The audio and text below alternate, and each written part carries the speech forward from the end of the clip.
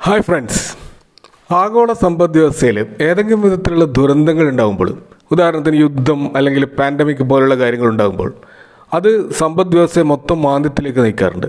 ഇതിന്റെ ആദ്യത്തെ പ്രതിഫലനം ഉണ്ടാകാൻ പോകുന്നത് ഷെയർ മാർക്കറ്റിലാണ് അപ്പോൾ തങ്ങളുടെ ആഡ് ഏൺഡുമായിട്ടുള്ള മണി ഒരു തകർച്ചയ്ക്ക് വിട്ടുകൊടുക്കാതെ മിനിമം റിട്ടേൺ കിട്ടുന്ന ഏതെങ്കിലും അസറ്റ് ക്ലാസ്സുകളിലേക്ക് ക്ലാസ്സുകളിലേക്ക് മാറ്റാൻ വേണ്ടിയിട്ട് ഇൻവെസ്റ്റേഴ്സ് ഒരു പാനിക്കായിട്ട് സെല്ല് ചെയ്യുന്ന ഒരു സമയമായിരിക്കും അത്. അപ്പോൾ എഫ് ടി നിക്ഷേപങ്ങളിലോ അതുപോലെ ഡെപ്റ്റ് മ്യൂച്വൽ ഫണ്ടുകളിലോ അല്ലെങ്കിൽ ഗോൾഡ് നിക്ഷേപങ്ങളിലോ ഒക്കെ ആയിരിക്കും പൊതുവെ അത്തരം സന്ദർഭങ്ങളിൽ നിക്ഷേപകർ അവരുടെ ഫണ്ട് മാറ്റുക. അപ്പോൾ ചിലർ മൈക്രോ സ്മോൾ മിഡ് ക്യാപ്പ് സെഗ്മെന്റിലുള്ള തങ്ങളുടെ ഫണ്ടുകളൊക്കെ എടുത്ത് നിഫ്റ്റി ഫിഫ്റ്റി പോലെ കുറച്ചുകൂടി വളറ്റിലിറ്റി കുറഞ്ഞ നിക്ഷേപത്തിലേക്കും പോകാറുണ്ട്.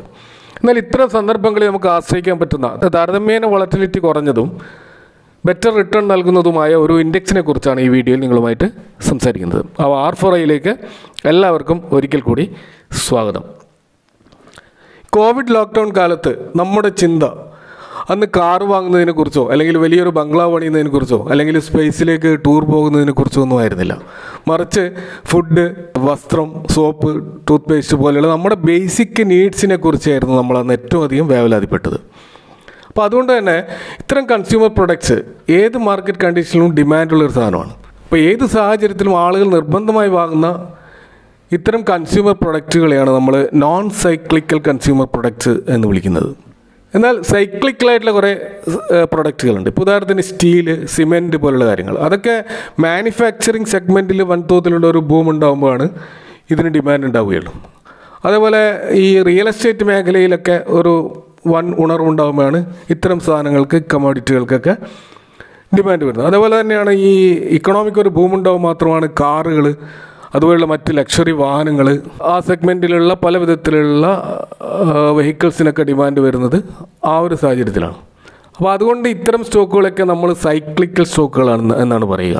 അപ്പോൾ ഈ സൈക്ലിക്കൽ സ്റ്റോക്കുകളിൽ നമ്മൾ എൻട്രി എടുക്കുമ്പോൾ വളരെയധികം ശ്രദ്ധിക്കേണ്ട ഒരു കാര്യം അതിന്റെ ആ ഒരു ഭൂമി സ്റ്റാർട്ട് ചെയ്യുന്ന സമയത്ത് തന്നെ എൻട്രി എടുത്തിട്ടില്ലെങ്കിൽ നമ്മൾക്ക് വലിയ തോതിൽ നഷ്ടം വരാനുള്ള സാധ്യതയുണ്ട്. നമ്മളതിന്റെ പീക്കിൽ പോയിട്ടാണ് എൻട്രി എടുക്കുന്നതെങ്കിൽ പിന്നീട് ഒരു റിസഷൻ വരുമ്പോൾ ആ ഇതിൽ നമ്മൾ കുടുങ്ങിപ്പോവുകയും അങ്ങനെ വർഷങ്ങളോളം നമ്മളെ വെൽത്ത് ഡിസ്ട്രോയ് ചെയ്യപ്പെടുന്ന ഒരു അവസ്ഥ ഉണ്ടാവുകയും ചെയ്യാനുള്ള സാധ്യതയുണ്ട്. എന്നാൽ നോൺ സൈക്ലിക്കലായിട്ടുള്ള ഞാൻ നേരത്തെ പറഞ്ഞ കൺസ്യൂമർ ഗുഡ്സുകളിനെ സംബന്ധിച്ചിടത്തോളം അവിടെ നമുക്ക് എപ്പോൾ വേണമെങ്കിലും എൻട്രി എടുക്കാം. മാർക്കറ്റ് കണ്ടീഷൻ ഒരു വലിയ വിഷയമേ അല്ല. അതുകൊണ്ടാണ് നമുക്ക് എപ്പോഴും ഈ ഇത്തരത്തിലുള്ള സ്റ്റോക്കുകൾ എപ്പം ഹൈ പി ഇ റേഷ്യോയിലാണ് നമുക്ക് കാണാൻ കഴിയുക അത്രമാത്രം ഡിമാൻഡാണ് അത്രമാത്രം ഡിഫെൻസീവ് ആയിട്ടുള്ള സ്റ്റോക്കുകളാണ് ഈ കൺസ്യൂമർ ഈ നോൺ സൈക്ലിക്കൽ ആയിട്ടുള്ള സ്റ്റോക്കുകൾ. എന്നാൽ നമ്മൾ എൻ എസ് സി സൈറ്റിൽ പരിശോധിച്ചാൽ consumer F M C G സെക്ടറിലും അതേപോലെ എഫ് എം ഇ ജി സെക്ടറിലും കൺസ്യൂമർ ഡിസ്ക്രിഷണറി പ്രൊഡക്റ്റുകളൊക്കെ മൊത്തം എടുത്തു കഴിഞ്ഞാൽ ഇരുന്നൂറിലധികം സ്റ്റോക്കുകൾ നമുക്ക് എൻ എസ് സിയിൽ ലിസ്റ്റ് ചെയ്തതായിട്ട് കാണാം. അപ്പോൾ അങ്ങനെയാകുമ്പോൾ നമ്മൾ ഏത് സ്റ്റോക്കായിരിക്കും വാങ്ങുക എന്ന കാര്യത്തിൽ നമുക്ക് വലിയ വലിയ കൺഫ്യൂഷൻ ഉണ്ടാകും അപ്പോൾ എവിടെ എൻട്രി എടുക്കണമെന്ന് ഒരു ശരാശരി ഇൻവെസ്റ്റർ സംബന്ധിച്ചിടത്തോളം വളരെയധികം ആശയക്കുഴപ്പം ഉണ്ടാക്കുന്ന ഒരു കാര്യമാണ്. അപ്പോൾ ഇൻവെസ്റ്റേഴ്സിന്റെ ഈ ഒരു ആശയക്കുഴപ്പം പരിഹരിക്കാനായിരിക്കാം. എൻ എസ് സി തന്നെ ഇപ്പോൾ ഒരു ഇൻഡെക്സ് രൂപീകരിച്ചിട്ടുണ്ട്. ഈ ഇൻഡെക്സിൽ ടോപ്പ് പെർഫോമിംഗ് ആയിട്ടുള്ള മുപ്പതോളം സ്റ്റോക്കുകളാണ് ഉള്ളത്.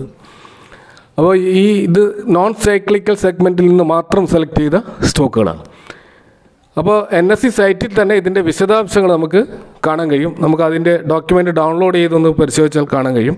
ഇത് ലോഞ്ച് ചെയ്തിട്ടുള്ളത് നവംബർ പതിനേഴ് രണ്ടായിരത്തി ഇരുപത്തൊന്നിനാണ് അധിക കാലമായിട്ടില്ല ലോഞ്ച് ചെയ്തിട്ട്. ഏകദേശം രണ്ടര വർഷമാകുന്നേ ഉള്ളൂ. അപ്പോൾ അതിന്റെ അർത്ഥം വെച്ചാൽ കോവിഡിന് ശേഷമായിരിക്കും ഇതിങ്ങനെ ഒരു ഇൻഡെക്സിന്റെ ആവശ്യകത എൻ എസ് സിക്ക് ബോധ്യപ്പെട്ടിട്ടുണ്ടാവുക.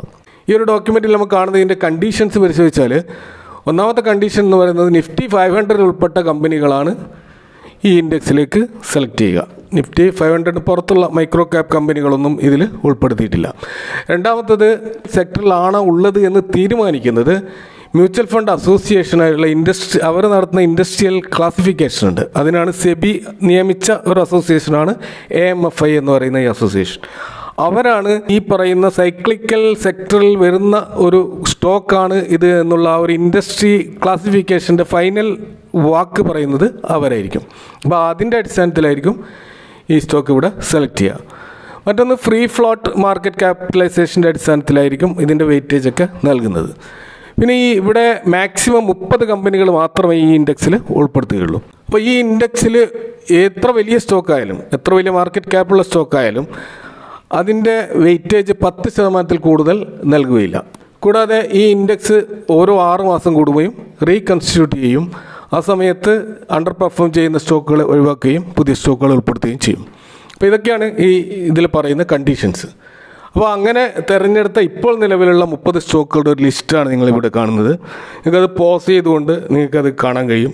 അപ്പോൾ ഈ ലിസ്റ്റിലെ ടോപ്പ് ടെൻ വെയിറ്റേജ് കൊടുത്തിട്ടുള്ള കമ്പനികൾ നോക്കുകയാണെങ്കിൽ Hindustan Unilever I T C Bharti Airtel Titan Asian Paints Zomato Nestle Trent Tata consumer products Avenue Supermarts എന്നിവയാണ് ടോപ്പ് ടെൻ കമ്പനികൾ ഇനിയും ഇരുപതോളം ഈ ലിസ്റ്റിൽ നിങ്ങൾക്ക് വേറെയുമുണ്ട് അപ്പോൾ ഇതിൽ ഏറ്റവും വെയിറ്റേജ് ഉള്ളത് Hindustan യൂണിലിവറിനാണ് nine point nine percentage I T സിക്ക് നയൻ പോയിന്റ് സിക്സ് പെർസെന്റേജ് ആണ്.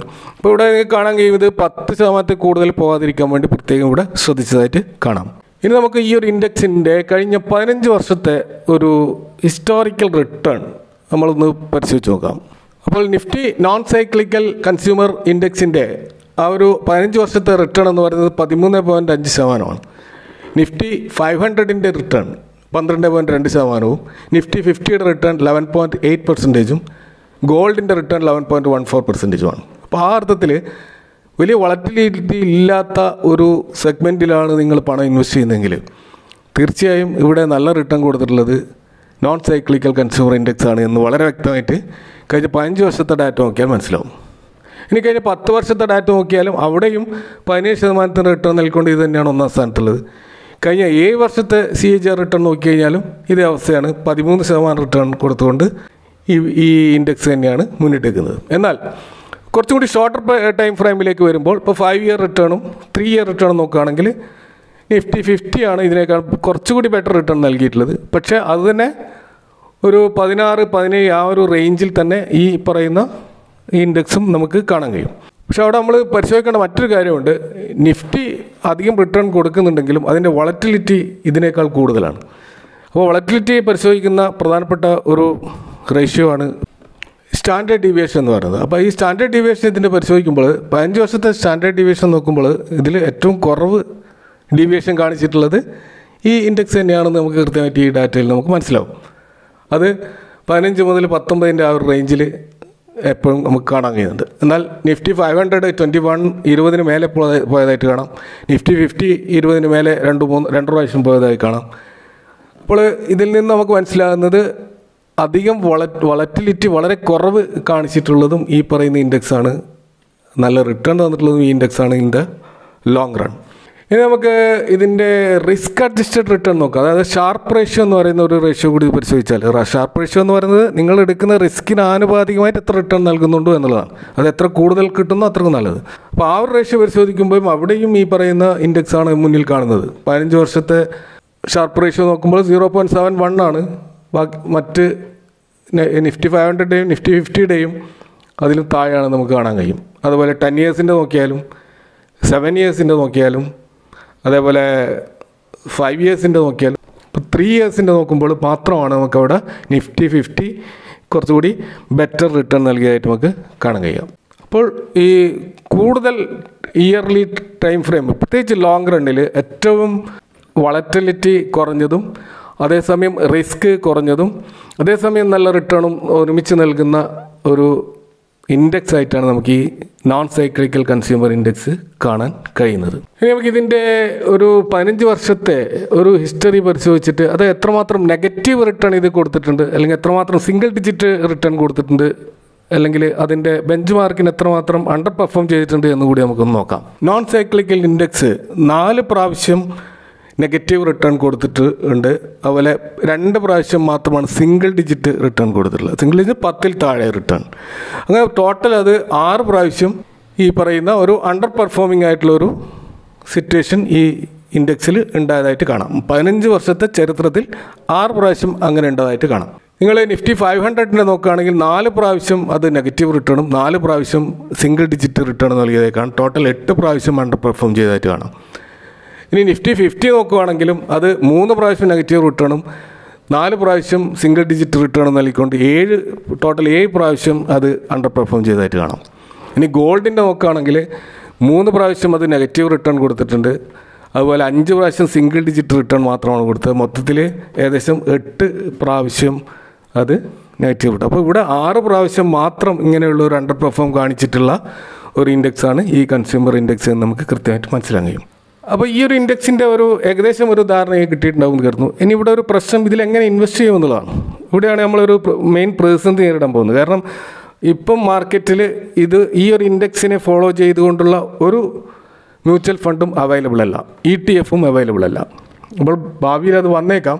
അതുവരെ നമുക്ക് ചെയ്യാൻ പറ്റുന്ന ഒരു കാര്യം ഇപ്പോൾ അതിന്റെ ആ മുപ്പത് സ്റ്റോക്കുകളുടെ വെയിറ്റേജ് നോക്കിക്കൊണ്ട് അതിൽ ഇൻവെസ്റ്റ് ചെയ്യുക. ആറുമാസം കഴിഞ്ഞിട്ട് റീബാലൻസ് ചെയ്യുമ്പോൾ നമ്മളും റീബാലൻസ് ചെയ്യുക എന്ന് മാത്രമുള്ള ഒരു ഓപ്ഷൻ മാത്രമേ ഉള്ളൂ. നിങ്ങൾക്ക് non cyclical consumer mutual fund എന്ന് പറഞ്ഞ ഒരു ഫണ്ട് എച്ച് ഡി എഫ് സിയുടെ കാണാൻ കഴിയും. അത് ഈ പറയുന്ന ഇൻഡെക്സ് ഫണ്ടല്ല എന്ന് പ്രത്യേകം മനസ്സിലാക്കുക. അതേപോലെ തന്നെ കൺസ്യൂമർ കൺസംഷൻ ഫണ്ട് തീമാറ്റിക് എന്നുള്ള രീതിയിൽ കുറേ ഫണ്ടുകൾ കൺസ്യൂമർ ബേസ്ഡ് ആയിട്ട് തീമാറ്റിക് ആയിട്ടും കഴിയും അതൊന്നും അല്ല ഇവിടെ ഉദ്ദേശിച്ചിട്ടുള്ള ഫണ്ട് ഇത് ഇൻഡെക്സ് ഫണ്ടാണ് എക്സ്പെൻസ് റേഷ്യോ വളരെ കുറവായിട്ടുള്ള ഫണ്ടുകൾ നോക്കുന്നവർക്കാണ് ഇൻഡെക്സ് ഫണ്ട് എന്ന് പറയുന്നത്. അതുകൂടാതെ ഇത് എൻ എസ് സി മാനേജ് ചെയ്യുന്ന ഇൻഡെക്സ് ആണ്. ഇത് വളരെയധികം സേഫ് ആയിരിക്കും. അതിന്റെ ഹിസ്റ്റോറിക്കൽ പെർഫോമൻസ് വെച്ചിട്ട് ഞാനിവിടെ അത് ഗോൾഡിനേക്കാളും നിഫ്റ്റി ഫിഫ്റ്റിയേക്കാളും നിഫ്റ്റി ഫൈവ് ഹൺഡ്രഡിനേക്കാളും ബെറ്റർ റിട്ടേൺ നൽകിയതായിട്ടും അതുപോലെ ലോ വളറ്റിൽ ആണെന്നും അതുപോലെ റിസ്ക് കുറവാണെന്നും വളരെ കൃത്യമായിട്ട് ഇവിടെ നമുക്ക് മനസ്സിലാക്കാൻ കഴിയുന്നുണ്ട്. ഇതിന്റെ മറ്റൊരു കാര്യം കൂടി നോക്കിക്കഴിഞ്ഞാൽ കോവിഡ് പാൻഡമിക്കിന്റെ കാലത്ത് ഗോൾഡ് ഇരുപത്തേഴ് ശതമാനം വളർന്നിരുന്നു. ആ സമയത്ത് ഈ ഇൻഡെക്സ് ഇരുപത്തൊന്ന് ശതമാനമാണ് വളർന്നത്. നിഫ്റ്റി ഫൈവ് ഹൺഡ്രഡ് പതിനേഴ് ശതമാനം നിഫ്റ്റി ഫിഫ്റ്റി പതിനാറ് ശതമാനം. അപ്പോൾ ആ ഒരു കാലഘട്ടത്തിൽ നമുക്കറിയാം കോവിഡ് പാൻഡമിക് വലിയൊരു ക്രാഷാണ് സംഭവിച്ചത്. അതിനുശേഷം അത് റിക്കവർ പെട്ടെന്ന് തന്നെ ചെയ്തുകൊണ്ടാണ് ഈ റിട്ടേൺ ഈ ഇൻഡെക്സുകളൊക്കെ നൽകാൻ കഴിഞ്ഞത്. അപ്പോൾ അതിൽ തന്നെ ഈ കൺസ്യൂമർ ഇൻഡെക്സ് ഈ കിറ്റുകളിൽ ഏറ്റവും നല്ല പെർഫോമൻസ് നടത്തിയതായിട്ട് നമുക്കിവിടെ കാണാൻ കഴിയും. ഇതേപോലെ രണ്ടായിരത്തി എട്ടിലുള്ള വമ്പിച്ച ക്രാഷിൽ ഈ നിഫ്റ്റി ഫിഫ്റ്റിയും നിഫ്റ്റി ഫൈവ് ഹൺഡ്രഡും വൻതോതിൽ അൻപത് ശതമാനത്തിലധികം തറന്നപ്പോൾ ഇത് നാൽപ്പത് ശതമാനത്തിൽ ഒതുങ്ങി എന്നുള്ളത് നമ്മൾ മനസ്സിലാക്കേണ്ട കാര്യമാണ്. അപ്പോൾ ഇതൊക്കെയാണ് മൊത്തത്തിൽ ഈ ഇൻഡെക്സിനെ പറ്റി പറയാനുള്ളത്. നിങ്ങളുടെ സംശയങ്ങളും അഭിപ്രായങ്ങളും കമന്റ് ബോക്സിൽ അറിയിക്കുക. Thanks for watching see next time with another video